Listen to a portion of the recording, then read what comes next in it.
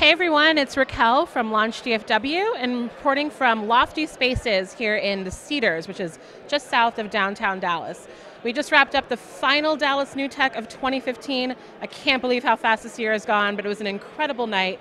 We heard from six amazing startups. We had Mass Venture, Guider, Park Hub, Revitalized Parking, Parking Solutions, excuse me, Ready Rosie, and Peer. Peer was actually our youngest presenter tonight in Gotham, who's just barely out of high school, but don't tell anybody. And it was an exciting presentation. He had a number of questions from the audience, lots of really, really interesting, valid, important questions that were brought up. And Gotham was fantastic and had an answer for just about all of them and more, I'm sure, if there was more time.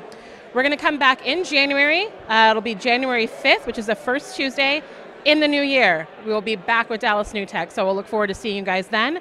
In the meantime, you can catch up with all the video recaps, which will be on Launch DFW over the coming weeks.